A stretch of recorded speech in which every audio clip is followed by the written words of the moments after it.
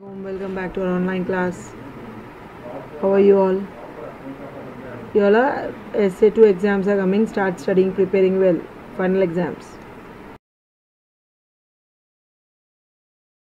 Okay, all the lessons read it thoroughly. Learn the question answers. Everything is ready with your. Material, English and biology both.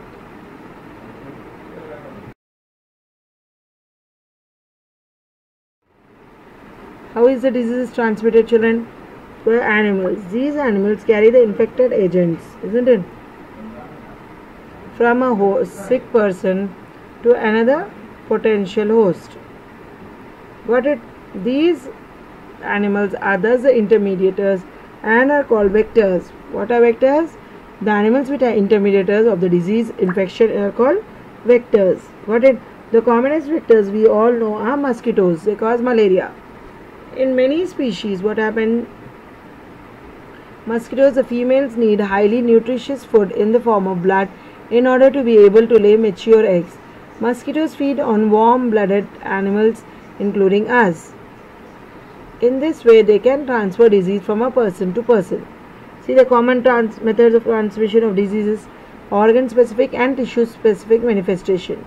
The disease causing microbes enter the body through these different means where do they go then? The body is very large when compared to the microbes. Our body, isn't it? So there are many possible places or organs or tissues where they could go. Do all connected to these points of entry. If they enter the from the air, air via the nose, they are likely to go to the lungs.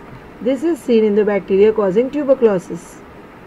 If they enter through mouth, they can stay in the gut lining like typhoid causing bacteria.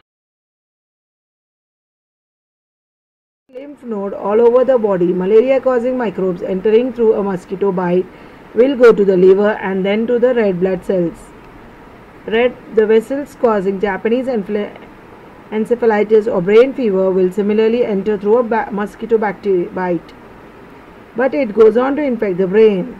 The sign and symptoms of a disease will thus depend on the tissue or organ which the microbe targets. If the lungs are the target, then symptoms will be cough and breathlessness.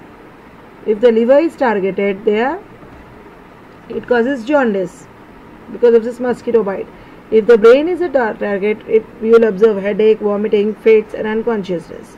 We can imagine what the symptoms and signs of an infection will be if we know what the tissue target or organs is and thus the function that are carried out by this tissue or the organ. In addition to these tissue specific effects of infectious disease, there will be other common effects too. Most of these common effects depend on the fact that the body's immune system is activated in response to infection. An active immune system recruits many cells to the affected tissue to kill off the disease causing microbes. This recruitment process is called inflammation. As a part of this process, there are local effects such as swelling, pain, and the general effects such as fever will come. Inflammation means you go on itching, it will become red, swollen. In some cases, the tissue specifically, many effects of HIV or AIDS are because the body can no longer fight with the many infections that we face every day. Instead, even small cold can become pneumonia. Similarly, a minor gut infection can produce major diarrhea with blood loss. Ultimately, it is there other infections that kill people suffering from HIV or AIDS. It is also important to remember that the severity of disease manifestation depend on the number of microbes in the body. If the number of microbes is very small, the disease manifestation may be minor or unnoticed. But if the number of same microbe is large, the disease can be severe enough to be life threatening. The immune system is a major factor that determines the number of microbes surviving in the body. We shall look into the aspect a little later in the chapter. Principles of treatment. What are the steps taken by your family when you fall sick? What do they do?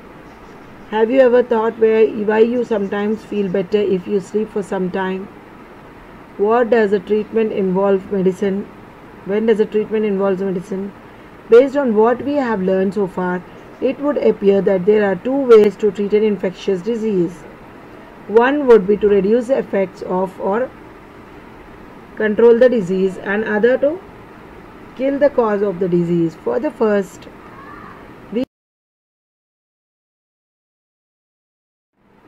we can provide treatment that will reduce the symptoms.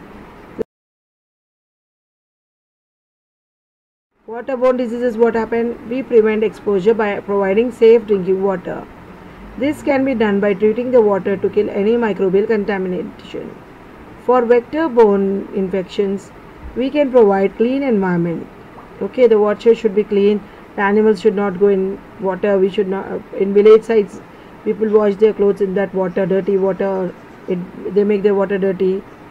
Some people are so poor they bring pots and take that same water for drinking, isn't it? Some leave the animals in that water, they urinate, they become dirty. In this way, they become infectious. The disease spreads. This would not, for example, allow the mosquito breeding. In other words, public hygiene is one basic key to prevention of infectious diseases. In addition to these issues that relate to the environment, there are some other general principles to prevent infectious diseases. To appreciate those principles, let us ask a question we have looked at so. So, one way of looking at severe infectious disease is that it represents a lack of success of immune system. Now, this COVID also, why it is infecting many people of old ages, middle ages, because of their immune system is low. The functioning of the immune system, like any other system in our body, will not be good if proper and sufficient nourishment and the food is not available. Therefore, the second basic principle of prevention of infectious disease is the availability of proper and sufficient food every, for everyone. In activity 6, collect a survey in your locality. Talk to 10 families.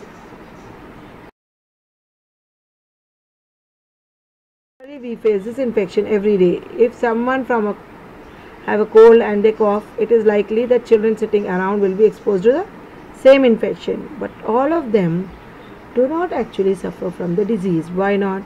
This is because of immune system of our body that is normally fighting off the microbes. We have cells that specialize in killing the infectious infecting microbes. These cells go into action each time infecting microbes enter the body they attack. They have strong immunity system. If they are successful, we do not actually come down with any disease.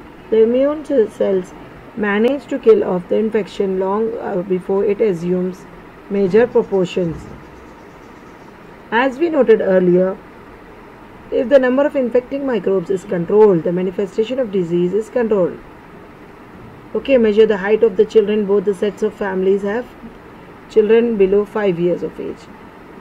Draw the graph of the height of each child against its age for both sets of families is there any difference between the group? If yes, answer why. If there is no difference, do you think that your findings mean that being well off or poor does not matter for health? These are the general ways of preventing infections. What are the specific ways they relate to a specific property? That usually these days there is no smallpox anywhere in the world. But recently, 100 years ago, there was smallpox epidemic where not at all uncommon. In such an epidemic, people used to be very afraid of coming near someone suffering from the disease since they were afraid of catching the disease. Understood? However, there are one group of people who did not have any have this fear. These people would provide nursing care for the victims of smallpox. This was a group of people who had smallpox earlier and survived it although with a lot of scaring. In other words, if you had smallpox once, there would be no chance of suffering from it again. So having the disease once was a means of preventing subsequent attack of the same disease. Got it? If once it came smallpox, uh, uh, again it would not repeat.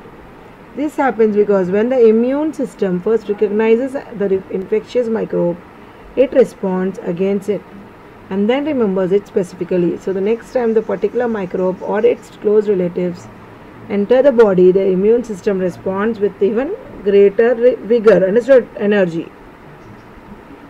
This eliminates the infection even more quickly than the first time around. This is the basis of principle of immunization. For today children. How do you appreciate the role of vaccine in preventing the diseases? Prepare a questionnaire to collect information from your local health worker about spreading of diseases. How many times did you fall ill in a last year? What were the illness? Think of one change you could make in your habits in order to avoid any of or most of the illnesses. Think of one cha- change you would wish for in your surrounding in order to avoid any of or most of your illness. Thank you children. Send me the homework by 6 in the evening. Assalamu alaikum. See you in next class.